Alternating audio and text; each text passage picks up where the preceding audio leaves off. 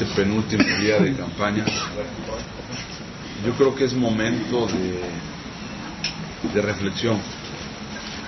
Y yo quisiera invitar a todos los ciudadanos y a toda la sociedad de este distrito y a toda la gente que vive en este país a que reflexione, que reflexione si no le duele que estemos viviendo en la crisis más severa de la historia de nuestro país, que reflexione si no le duele que hoy se estén perdiendo casi 2.500 empleos diarios, si no les duele que cada día que avanza en este proceso electoral, los partidos tradicionales nos ofenden saliendo a la calle en esta época de crisis, el PRI el PAN, gastando recursos, haciendo de cuenta que lo que sentimos y lo que nos duele a ellos no les importa. Porque estas campañas, lejos de haberlas hecho modernas, lejos de que hubieran sido campañas diferentes por estar en época de crisis y porque la sociedad requiere acciones contundentes y diferentes de nuestro gobierno, no, salieron a hacer campañas más tradicionales que nunca, porque en las campañas tradicionales lo que más importa es el dinero, en lugar de que salieran a hacer campañas modernas. Es decir, lo que a nosotros como sociedad, lo que a ustedes como ciudadanos, lo que a nosotros como ciudadanos nos importa, a ellos no les importa, porque su, único objetivo es seguir pervirtiendo la política con el dinero. Por eso trabajan para que los ricos cada día se hagan más ricos y los pobres cada día más pobres, porque esa es la única manera, el único conducto y el único camino para que elección tras elección siempre les siga siendo más barato salir a comprar el voto. Pero yo quiero invitar a los ciudadanos de este distrito a que reflexionen, a decirles que es tiempo de que salgamos a decirle a esos partidos tradicionales que ya basta, ya basta de que piensen que nuestra democracia, que nuestra pobreza, que el rezago y que la crisis en la que vivimos no tiene precio. Nosotros queremos acciones contundentes, queremos soluciones y queremos medidas que nos permitan construir un bienestar diferente para toda nuestra familia. No se olviden que lo que está en juego es el futuro de nuestros hijos. Y yo quiero apelar a la conciencia y a la reflexión de esas madres, de esas mamás, de esos niños que se encuentran en las comunidades eh, rurales, que muchas veces están muy cercanas a los círculos urbanos de nuestras ciudades. Esas mamás que en las mañanas se paran y voltean a ver a sus hijos y lo único que le pueden dar son lágrimas y un plato de desesperación derivado del abandono en el que se encuentran, derivado de la pobreza en la que viven, porque voltean a ver a sus despensas, voltean a ver a su alrededor y no hay que darles de comer a sus hijos. Tienen que optar por salir a cortar una rama de un árbol, un quelite o una verdolaga para poder darles de comer. Si eso no les duele, nosotros como ciudadanos comprometidos con nuestra ciudad no tenemos nada más que hacer. Pero yo estoy convencido de que gracias al enorme respaldo y a la enorme simpatía que hemos tenido en la sociedad, la gente ha despertado, a la gente le duele, a la gente le duele en lo más profundo del corazón lo que está sucediendo. Por eso es que hemos visto que esas preferencias que traía el partido tradicional al inicio de la campaña se cayeron rapazmente, contundentemente, y eso fue a principios de junio. Esperen para la elección un resultado sorprendente. Va a haber traición. Afortunadamente hoy el ciudadano le va a pagar a esos partidos tradicionales como esos partidos nos han pagado los ciudadanos. Acuérdense que vienen a pedir el voto a favor de ellos y suben a la Cámara a votar en contra de toda la sociedad que les dio el respaldo. Por eso en las fotos que han visto en los periódicos ya no les preocupa salir festejando el triunfo, salir levantando las manos, dándole la espalda a la gente que les da su respaldo. Siempre hacen lo mismo. Pero yo creo que hoy la sociedad ya despertó. Ya despertó porque los jóvenes son un grupo que se encuentra en lo más recóndito del olvido de nuestro país.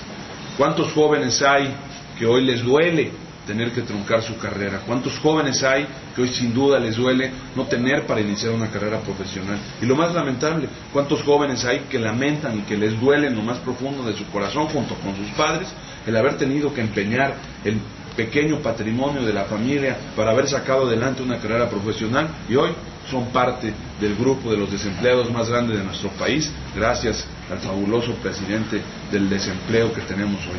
Por eso yo les invito a ustedes ciudadanos, les invito a todos mis paisanos cordobeses, a todos los oquitecos, a la gente de Achaca, Naranjal, Amatlán y Fortín, que salgan a votar de manera reflexiva, que salgan a votar de manera útil. Hoy tenemos dos candidatos en este distrito que son extranjeros, que no son de aquí, que no tienen arraigo en la sociedad, que no han hecho nada por Córdoba, que no tienen un compromiso real por Córdoba, que no conocen lo que se tiene que hacer para sacar adelante un negocio, una actividad económica en Córdoba o una actividad productiva. Yo invito a la gente a que reflexione. Nosotros somos los únicos que damos la garantía de que van a tener un diputado tres años de contacto permanente con ustedes. Nosotros no vamos a aspirar a buscar otro puesto de elección popular mientras estemos en nuestro eh, eh, periodo legislativo. Nosotros queremos ser diputados de Córdoba y seremos 100% diputados de Córdoba.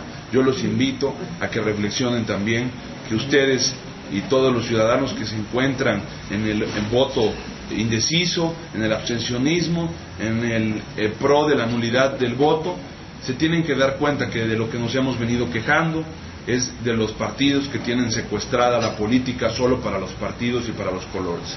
Convergencia y nosotros somos los únicos que nos hemos eh, eh, propuesto a favor de todas esas demandas que hoy tiene la sociedad, de todas esas demandas que demandan modernizar los partidos y la política. Somos los únicos que hemos eh, nos hemos propuesto a favor de las candidaturas ciudadanas, del revoco de mandato, del plebiscito, del referéndum, que son tres herramientas que le permitirán a la sociedad empezar a tener el control de lo que sucede en nuestro país y que por primera vez podamos pensar que debe de existir más sociedad y menos gobierno. Porque esa es la única vía a través de la cual vamos a garantizar que el bienestar que deseamos para nuestros hijos, que el bienestar que deseamos para nuestras familias y ese futuro que esperemos que esté por venir sea un hecho, sea una realidad.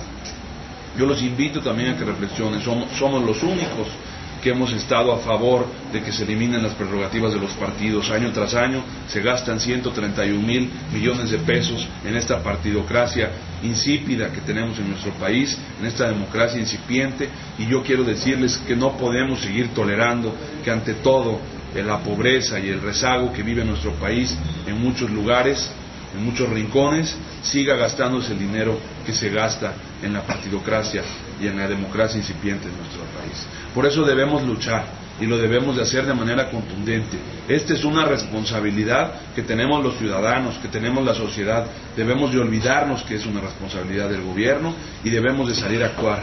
Este 5 de julio no se olviden salir a votar de manera reflexiva. ¿Qué no les duele? Yo les dejaría esa pregunta en el tintero a nuestros amigos paisanos cordobeses. No les duele lo que estamos viviendo. No les duele que seamos una de las economías más rezagadas de América Latina. No les duele que seamos el país que más vamos a decrecer en toda América Latina. No nos duele que nuestro país invierta menos en seguridad, en salud y en educación que todos los países de América Latina. No nos duele.